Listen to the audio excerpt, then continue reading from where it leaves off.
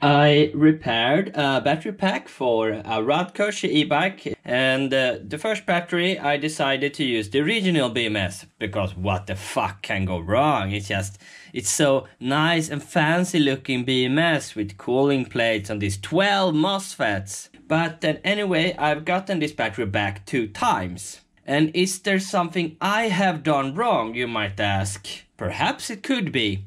Or perhaps it could be the fucking motherboard of the Radkutsche. I think I smelled something had burned uh, in the battery or so, but I couldn't find anything. They have used Wago connectors that had melted and something like that. But now I had time to actually look inside the BMS because it smells burned in here.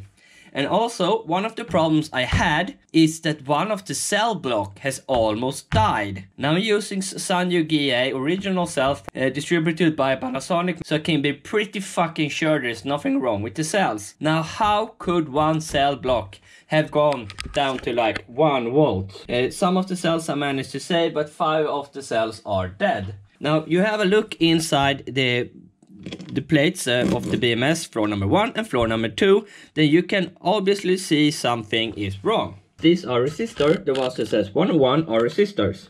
Now you use resistor to balance the battery cell group from 4.25 down to 4.15 or something in that range. And here you can clearly see that these three resistors have been burned.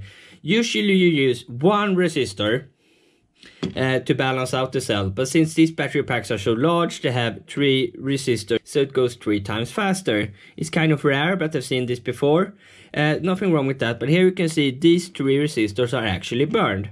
These resistors are usually stopping when the cell group is reaching 4.15.